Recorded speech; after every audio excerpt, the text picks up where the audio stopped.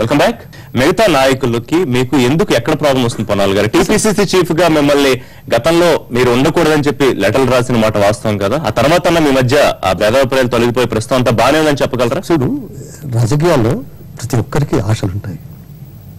మనమే కావాలని కోరుకుంటారు. సరే నాకు రెండు వేల మూడులో వచ్చే అవకాశం ఉండింది తప్పింది. రెండు వేల ఎనిమిదిలో వచ్చే అవకాశం ఉంది తప్పింది. రెండు వేల పదకొండులో వచ్చే అవకాశం తప్పింది. నేను మా నాన్నగారు పంతొమ్మిది వందల నలభై ఎనిమిదిలో ఒక కూలీగా వ్యవసాయ కూలీగా అఖిల భారత కాంగ్రెస్ పార్టీ సభ్యత్వాన్ని తీసుకున్నాడు ఆ రసీదును తొంభై ఒక్కటి వరకు నేను భద్రంగా దాచాను.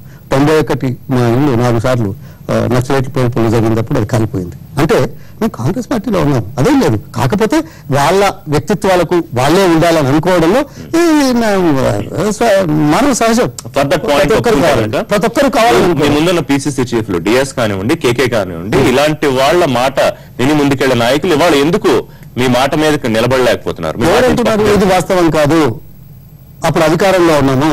ఇప్పుడు అధికారంలో లేకపోయినా అందరం కలిసి మొన్నటి పాదయాత్ర అందరం కలిసాం. అందరం ఒప్పుకున్నాం. అంతకుముందు జిల్లా సమీక్షా సమావేశాలు పెట్టాం గ్రూపుల వారీగా. అందరం కలిసి వెళ్ళాం. ఒక్కొక్కరం ఒక్కొక్క జిల్లా వెళ్ళాం. మీకు ఈ వాదన?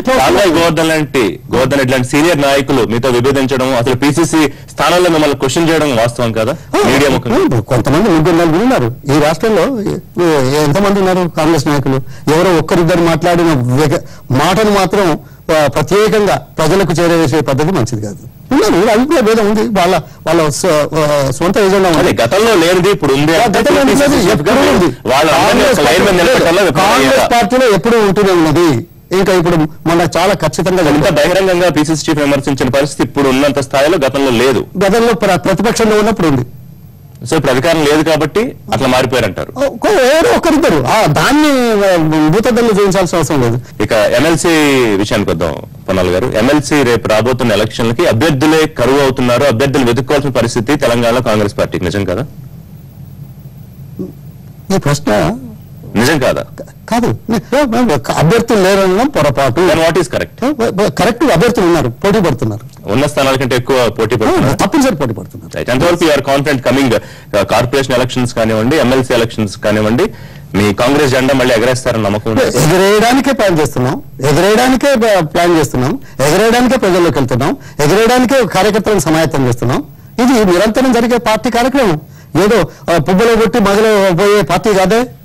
పొన్నల్ గారు కాంగ్రెస్ పార్టీకి సమీప భవిష్యత్తులో మంచి రోజులు లేవు. ఇక్కడ ఉంటే భవిష్యత్ ప్రశ్నార్థం కాబట్టే వలసలు జరుగుతున్నాయి కాదా? అది వ్యక్తిగత అభిప్రాయాలు.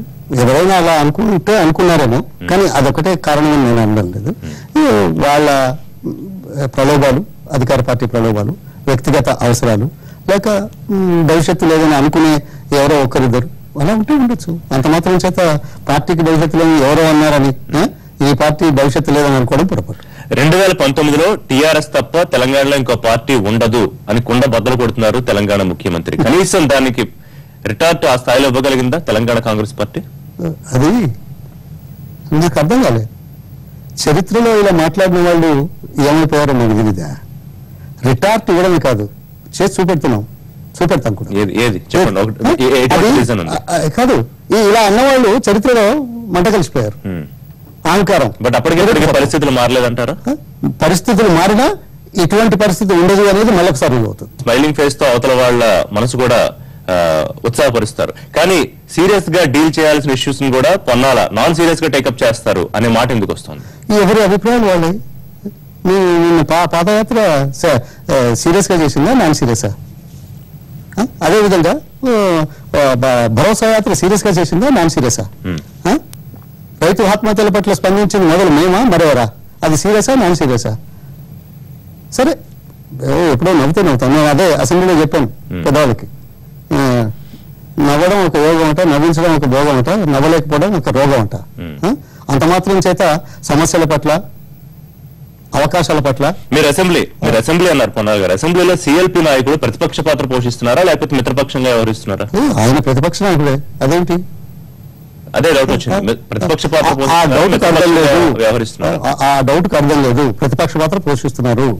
ఇష్యూలు జరిగిపోయిన కొంతకాలానికి అంటే మనకు సామెత ఉంది గతంలో దొంగలు పడిన ఆరు నెలలకని. ప్రస్తుతం తెలంగాణ కాంగ్రెస్ వ్యవహారం అలా ఉందని అనిపించట్లేదా?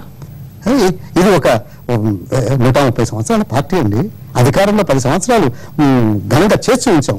అటువంటిది ఏదో మంట కలిసిపోతుందని ఇలా మాట్లాడడం అది ఏ ఒక్కరికో పరిమితం అది. అందరికీ పరిమితం కాదు. దానం నాగేందర్ మరి శశిధర్ రెడ్డి. వీళ్ళిద్దరూ మీడియా ముఖంగా బహిరంగంగా వాళ్ళ మధ్య విభేదాలు వచ్చి అది కాంగ్రెస్ పార్టీ పరువును మంట కలిపేది కదా వాళ్ళ మీద కనీసం షోకాస్ కూడా ఇవ్వకపోవడానికి కారణం ఏంటి? కొంత ఆవేశంగా మాట్లాడుకున్నది వాస్తవమే. కానీ వారం రోజులు కాకముందే అందరం కలిసి మళ్ళీ పనిచేశాం కదా. సో ఇది మానవ నిజం కొన్ని లోటుపాట్లు. లాంగ్ లాంగ్ రేంజ్ యూనో ఆలోచన. తెలంగాణ ఆవేశంగా తెలంగాణ మాట్లాడడం- ముఖ్యమంత్రి కేసీఆర్ మీద అనేక ఆరోపణలు చేస్తూ ఉంటారు. కానీ ఒక్క ఆరోపణ కన్నా మీరు ఆధారాలు చూపించగలిగే పరిస్థితుందా? తెలం- తెలుగుదేశం పార్టీలో రేవంత్ రెడ్డి ఆయన కొన్ని ఆధారాలతో బయటకు వచ్చారు. అట్లీస్ట్ అది ప్రూవ్ చేసినా చేయకపోయినా. కానీ కాంగ్రెస్ పార్టీలో ఎందుకు అట్లాంటి ఆధారంతో బయటకు రాలేకపోతున్నారు? అసలు ఆయన చెప్పేవాటికి ఆధారాలు కావాలా? పన్నెండు శాతం రిజర్వేషన్ ఇంకేమైనా ఆధారం కావాలా? రైతులు చచ్చిపోతా ఉంటే ఇంకేమైనా ఆధారాలు కావాలా? అపహాస్యం చేస్తుంటే గురించి మరి- కానీ అవినీతి ఆరోపణలు అనేది. వారి కుటుంబానికి సంబంధించి కానీ గతంలో కేసీఆర్ గురించి కానీ ఆరోపణలు. అవి కూడా చేస్తోంది కాంగ్రెస్ పార్టీ. చేస్తున్నాయి. ఆరోపణలు చేసి- చేసేప్పుడు చూపిస్తాం దానికి అంటే ఎప్పుడు ఐదేళ్ళు అయిపోయి మళ్ళీ ఎలక్షన్లు వచ్చేటప్పుడు. మేము అంత ఆలోచించాల్సిన అవసరం లేదు అంటే ఎప్పుడు ఎప్పుడు రుజువు చేయాలో అప్పుడే రుజువు చేస్తాం. హైకమాండ్ కూడా ఇప్పుడున్న అధికార అధికారం మీద అంటే ఇప్పుడు ఎవరైతే మీరు పిసిసి చీఫ్ ఉన్నారో మీ గురించి కానీ లేకపోతే ఇంకా నడిపించే నాయకుడు ఎవరు లేని పరిస్థితి ఉంది అని హైకమాండ్ పెద్దలు కూడా కొంత విస్మయం వ్యక్తపరిచిన మాట వాస్తవం కదా సమాచారం ఎట్లా నాకే తెలియదు అలా అనుకుంటే నేను చేస్తారా?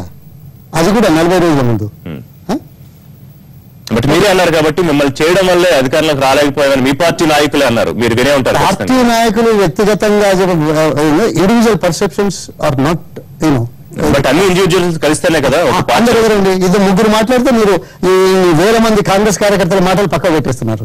అదేదో ముగ్గురు మాట్లాడిందే ప్రమాణమైన ప్ర- ప్రధానంగా ప్ర- ప్రచారం చేయడానికి దోహదం సో జరుగుతుంది కార్యకర్తలందరూ మీరే ఉండాలనుకుంటున్నారు పిసిసి కార్యకర్తలు కాదు మెజారిటీ మెజారిటీ కార్యకర్తల అభిప్రాయాల మేరకే కాంగ్రెస్ పార్టీ ఆలోచించి నిర్ణయాలు తీసుకునే దానికి అందరూ కట్టుబడి ఉండాలి. ఎవరైనా కాంగ్రెస్ పార్టీ చేసిన నిర్ణయాలకు విరుద్ధంగా మాట్లాడితే అది పార్టీ వ్యతిరేక చర్యగా భావించాల్సి వస్తుంది. అంతేకాని వాళ్ళేదో మాట్లాడారని నేనేదో ఇదైనానని అనుకోవడం పొరపాటు. అధిష్టానం కనుక నిర్ణయం తీసుకుంటే పిసిసి చీఫ్ మార్చాలని. What is your immediate reaction reaction ఏంటి మేము పార్టీకి కట్టుబడి ఉండేవాళ్ళం. వాళ్ళ నిర్ణయానికి కట్టుబడతాం. పాయింట్ బ్లాంక్గా చిన్న బ్రేక్ తీసుకుందాం. బ్రేక్ తర్వాత పొన్నాల లక్ష్మయ్య గారితో పాయింట్ బ్లాంక్ కొనసాగుతుంది.